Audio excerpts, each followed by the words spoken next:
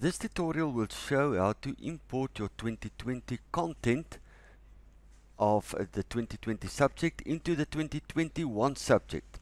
So what you would need to do is you would need to go and stand on your 2021 subject and then you would go to course tools, course admin and go to import, export or copy. We want to import. What do we want to import?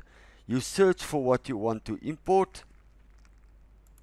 Let's say my subject is not sandbox, but let's say it's uh, electronic something. I search for it. And let's say it's uh, electronic application. Okay, that's 2021. Um, I want the 2020 electronic application. I select it and I say copy all components and there it will copy and after a while you will see the moment you refresh your course homepage you will see all the components that was copied. It will also change your banner and uh, there it is. And it took with the explanation a minute to explain. If however you only want to copy certain components. You do the same, you go to import,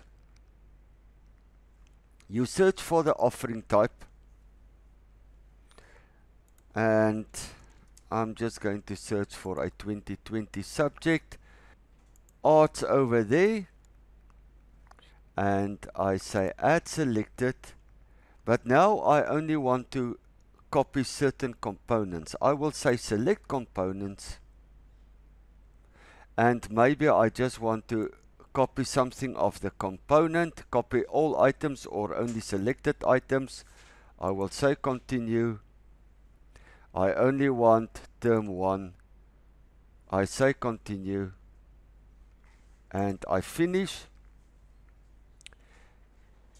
And the copying is in process. The moment I refresh course home and it's copied it will be at the bottom now I've copied all of that but there is term 1 you can also see it's another banner and that is how you will do a course copy